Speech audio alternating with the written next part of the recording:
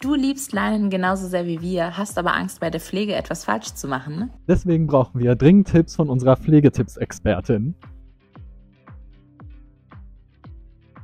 Hi Laura, Hi, wir brauchen unbedingt von dir Tipps für Laien. Leinen? Ja. Ja, sehr gerne. Laura, du hattest uns ja so super schon geholfen bei den Kaschmir-Tipps. Und Laien sind da jetzt super im Trend. Könntest du uns da auch noch mal ein paar Tipps geben? Was muss, muss die Community beachten?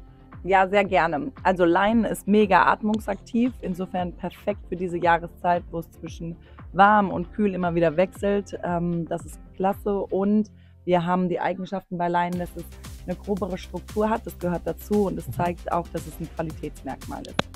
Okay, und Laien knittert ja auch voll schnell. Hast du da noch mal einen Tipp?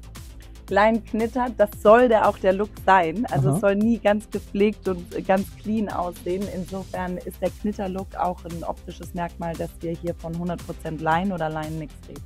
Laura, kannst du uns noch mal ein paar Tipps geben? Wie muss ich denn Laien richtig waschen? Ja, sehr gerne. Also wir haben verschiedene Mix. Das ist ein Leinenmix, den können wir sogar bei 40 Grad waschen. Ähm, insofern ganz normal in die Waschmaschine reinstecken. Bei 100% Leinen steht manchmal drin, also immer schön ins Etikett reinschauen, ähm, was, der, äh, was die Marke da empfiehlt. Aber sonst Feinwaschmittel ist man immer, Feinwaschprogramm ist man immer auf der sicheren Seite und äh, wenig Grad einzusetzen. Okay, dann kann ja beim nächsten Waschgang nichts falsch gehen. Nein, definitiv nicht. Wenn ihr weitere Fragen habt zu der Leinenqualität, schreibt es gerne ins Kommentarfeld.